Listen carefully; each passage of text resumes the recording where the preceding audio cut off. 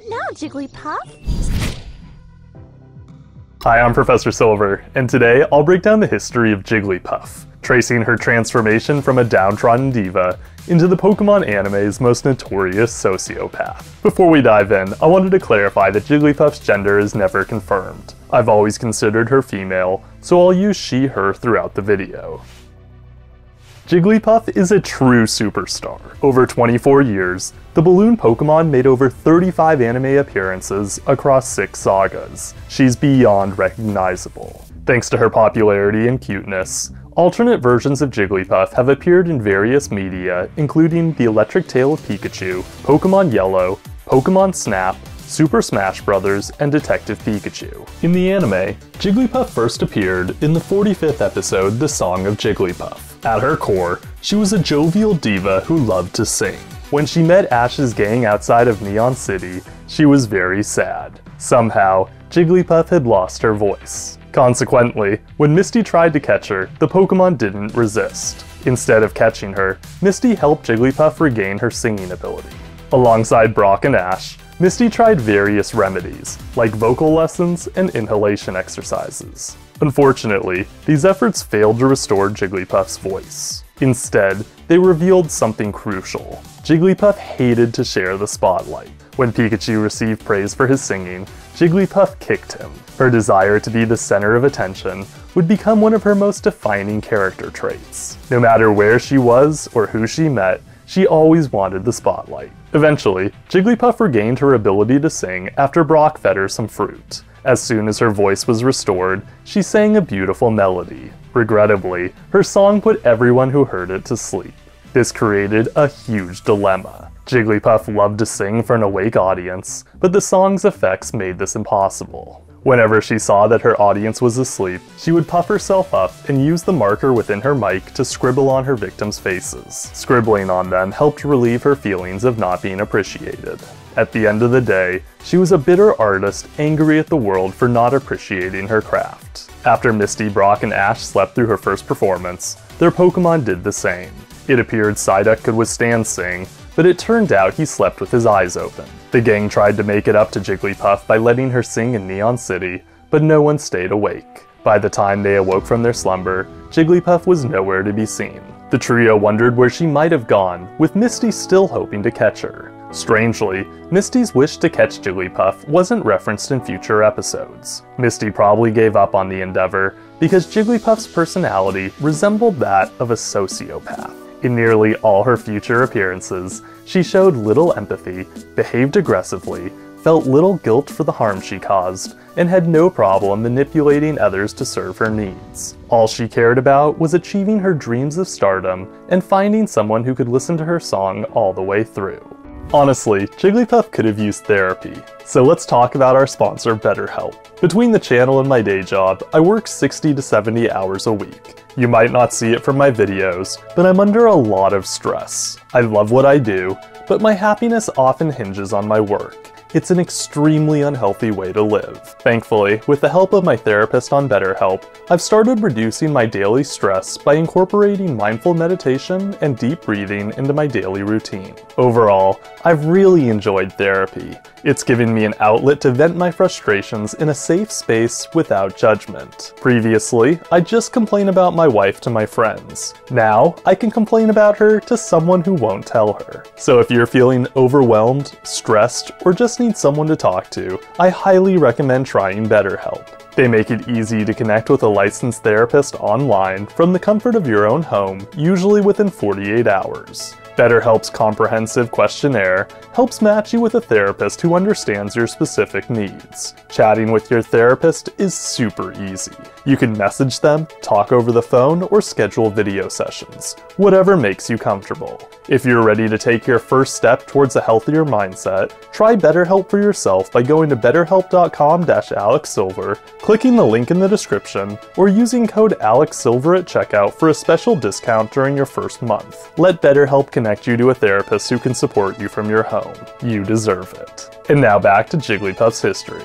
Unbeknownst to the gang, Jigglypuff followed them to Grandpa Canyon in the episode Attack of the Prehistoric Pokemon. Her return established that she saw them as nothing more than tools to help her find an audience. For example, when Ash fell into an abyss, Jigglypuff saw the rocks that trapped him as a stage, rather than a danger. She believed the world was her stage, and got mad when Brock and Misty tried to free Ash. The scene showed how her grasp on reality was tenuous at best and madly delusional at worst. Even after Ash got carried away by Aerodactyl, all Jigglypuff thought about was getting her spotlight. She only helped save Ash by putting the prehistoric Pokemon to sleep, because Misty promised they would listen to her singing as much as she wanted if she helped. Although Jigglypuff helped Charizard save the day, the deal she made with Misty would haunt the trainer and her friends for the rest of the series. From then on out, Jigglypuff followed them in many adventures. Much like Team Rocket, Jigglypuff didn't care that she wasn't wanted. In case of the Canine Capers, for instance, she disrupted Ash's battle with Growlithe and swiped a voice-changing megaphone. Later, in Riddle Me This, Jigglypuff terrorized Ash, Brock, Misty, and even Gary and his cheerleaders on Cinnabar Island. Further on, in Volcanic Panic, Jigglypuff tried to sing while the gang worked to dam an erupting volcano. This showed how she put her dreams above the safety of others. It didn't matter to her that her singing would have prevented the gang from stopping the eruption. If not for Ash hurrying her away, she might have killed them all. After leaving Cinnabar Island, Jigglypuff got trapped inside a wild Blastoise. Even in her dire predicament, she refused to give up on her dreams. Thanks to her singing inside the shellfish Pokemon, Blastoise and all its subjects were forced to sleep. Had Ash and Squirtle not discovered them in the episode Beach Blankout Blastoise, they might still be asleep to this day. Jigglypuff was so relentless that immediately after being freed, she returned to singing. The ordeal signified that Jigglypuff's presence forebode impending chaos. This was further exemplified in Clefairy Tales after she doodled on wild Pokemon and investigated a falling teapot. Upon discovering the teapot fell from a Clefairy spaceship, Jigglypuff went to war. Clefairy stole her mic, so she enlisted the help of Ash and his friends to get it back.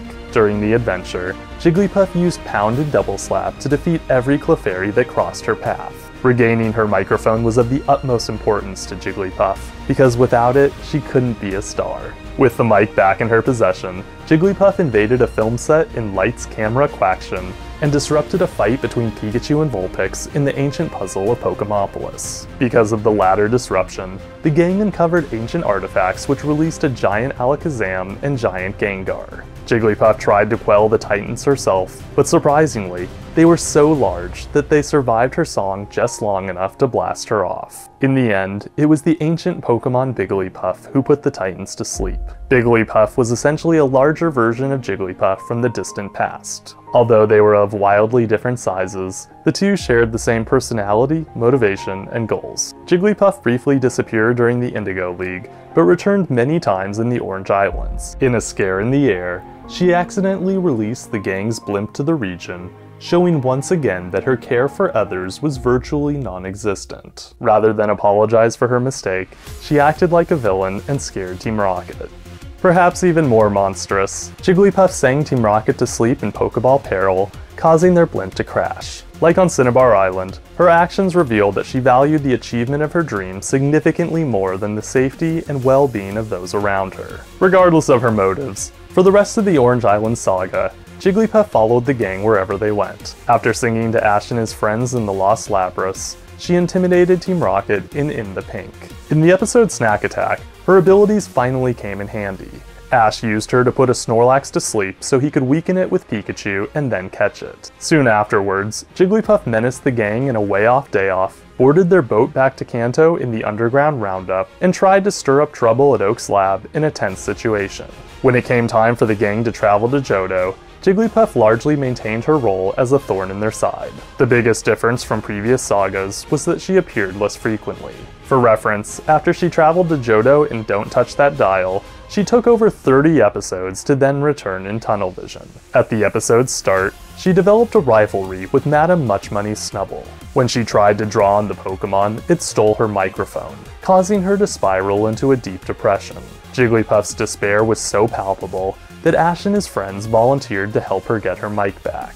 Although they tried their best, their efforts were in vain as Jigglypuff kept falling for Team Rocket's pitfall traps. Suffice to say, her stubbornness detrimented their progress. Only after Jigglypuff bonded with Meowth did she finally rebound. The two shared their hopes for the future and decided to form a dream team. However, Jigglypuff quickly proved she had no loyalty to anyone except herself when Meowth tried to stop her and Snubbull from fighting. Rather than help Meowth overcome his bully, she brutally attacked him. After retrieving her mic, Jigglypuff returned to her life as an unforgiving diva whose personality bordered on sociopathy. She went away for a little while thereafter, but resurfaced 40 episodes later in the episode Freeze Frame. Found frozen atop Snowtop Mountain, Ash's Cyndaquil melted her free. Despite being rescued, Jigglypuff immediately slapped Ash's friend Todd for getting in her face about a wild Articuno. Misty asked her with a gentler touch, so Jigglypuff briefly traveled with the gang, helping them to find the legendary Pokemon. During this time, she posed for a photo with the gang and floated with Pikachu, showing a brief glimpse of her good side. In the end, however, she was blasted off by Articuno and returned to a life of infamy. Possibly out of affection for Meowth, Jigglypuff sang to him at Story's End and followed him to a power plant in current events. There, she constantly tried to sing, but her audience continually threw her mic. Eventually, she sang to a bevy of electric types, Team Rocket, and Ash and his friends. No matter what happened, Jigglypuff never seemed to change. After floating through a storm and throwing in the Noctowl, she nearly caused a plane crash by singing without regard. If lightning hadn't woken everyone up, they surely would have perished. In her next Johto appearance, Jigglypuff returned to the center stage in the episode Same Old Song and Dance. Much to her chagrin, she had to share it with some much cuter Igglybuff. Because of their adorableness, Jigglypuff became extremely jealous. Jigglypuff was so envious of the attention they received that Ash hid her microphone to stop her from ruining their owner Brittany's concert. Throughout the rest of the story, Jigglypuff bullied the Igglybuff and attacked them whenever they received attention. The frustration Jigglypuff felt about playing second fiddle only grew after Team Rocket disrupted her singing. Ironically, her singing was within itself a disruption as well. Jigglypuff tried to slap Team Rocket into submission, but got countered by Wobbuffet and kidnapped alongside her Igglybuff rivals. After Team Rocket discovered they had nabbed her by mistake, decided they didn't want her, and tied her to a tree, Jigglypuff erupted with anger. Upon finding the villains, she clobbered Arbok and Victreebel using Double Slap. Of course, after Brittany finished her performance, Jigglypuff put the entire stadium to sleep and scribbled all over their faces. The song would be her last of the saga, as her only other appearance in Johto was a brief flashback in Wish Upon a Star Shape. In Hoenn, Jigglypuff's appearances were scaled back significantly. During her one and only appearance in the episode A Pokeblock Party, she followed the gang into a trick house competition. Her attempts to sing to them ended both in hilarity and her finding a perfect Pokemon to hear her song. The gang's new friend Alana had a Whismur, whose soundproof ability made it immune to sound-based moves. As you can probably imagine, it delighted Jigglypuff to see Whismur stay awake. She likely thought that she had found a friend for life. Sadly, at episode's end, she mistook Whismur's sleeping for a lack of interest rather than exhaustion. Whismur was simply too tired to stay awake after the events of a long day. After Jigglypuff was referenced in Caterpie's Big Dilemma, she wasn't seen for many years. Others of her species made brief appearances, but Jigglypuff herself didn't return until Sun and Moon. In Alola Kanto, she returned to Oak's lab so as to sing and scribble. When Ash returned to Alola and when regions collide, Jigglypuff hitched a ride. Upon Jigglypuff's return being discovered and Now You See Them, Now You Don't, she got star billing and let sleeping Pokemon lie. At the episode's start, she floated through Alola, putting both Team Rocket and the Pokemon School occupants to sleep. Ash and his friends awoke with markings, but were surprised to discover that Samson Oak's Komala had dodged Jigglypuff's scribbles. Unlike other Pokemon, Komala couldn't be put to sleep because it already spent the entirety of its life asleep. No matter what Jigglypuff did, she couldn't mark Komala. Ash and his friends tried to dissuade her by letting her sing to them instead, but she saw through their fake glasses and continued her tirade. Ultimately, Oak fought fire with fire by teaching Komala sing. The singing battle between the two ended with Komala putting Jigglypuff to sleep. Upon awakening, she discovered that the Pokemon had scribbled on her. Although Ash and his friends worried Jigglypuff would be angry, she responded with laughter. As a result, for the first time in the series, she left on the highest of notes with no malice in her heart. Tasting her own medicine briefly made Jigglypuff self-aware. Woefully, her epiphany didn't last long as she drew on Mudbray in The Dex Can't Help It, and Grandpa Forest in Don't Ignore the Small Stufful. Jigglypuff's final two Alolan appearances involved floating by Ash's school in Got Meltan and stowing away on Ash's plane to Kanto in Thank You Alola, The Journey Continues. In Journeys, Jigglypuff made her final appearance in the episode This Could Be the Start of Something Big. To my eye at least, her snoozing in a field signified that she had finally found peace and learned to live with others, without subjecting them to chaos. But I'm probably being too hopeful. In all likeliness, she probably started to sing as soon as she woke up. As that concludes Jigglypuff's history to date, let's get to her battle record. Jigglypuff defeated Wild Clefairy, Jessie's Arbok, and James's Victreebel. She lost to Samson Oaks Komala in a sing-off, but since it wasn't a battle, Jigglypuff kept her perfect record. Move-wise, Jigglypuff used Double Slap, Pound, and Sing. As a fan of Pokemon since the anime first released in America, I'm also a lifelong fan of Jigglypuff. What I like most about her is that she's unabashedly true to herself. Although she looks cute, she's also a psycho. There's no other Pokemon in the franchise that's more selfish and maniacal. It's a bit of an exaggeration to call a cartoon character a sociopath, but when you look at her appearances, it kinda fits. Jigglypuff is a lot like a Batman villain. She does awful things, but in her head, she's a downtrodden hero whose genius has yet to be recognized. While I like Jigglypuff as a character, I do wish the writers had closed the loops on some of her unresolved storylines. First, I think Misty should have explained why she never caught her. Second, I wish Jigglypuff would have found a home among Pokemon with a soundproof ability. Although her showdown with Komala provided her some emotional growth, I feel bad that she never fully achieved her in-universe dreams of stardom. Jigglypuff never achieved her dreams of stardom within the show, but her impact on the anime and the world as a whole is beyond immeasurable. For as long as Pokemon continues, I can't imagine she'll ever fade into obscurity. Thanks to additional spotlight and other media, it's undeniable that the Jigglypuff species has reached a level of popularity that few fictional characters or actual real-life people will ever realize. Like she would have wanted, audiences worldwide celebrate her. And on that note, class is adjourned. I want to give a big shout out to BetterHelp for all their support. To try it for yourself, click the first link in the description. I'm Professor Silver. Until next time, catch you later.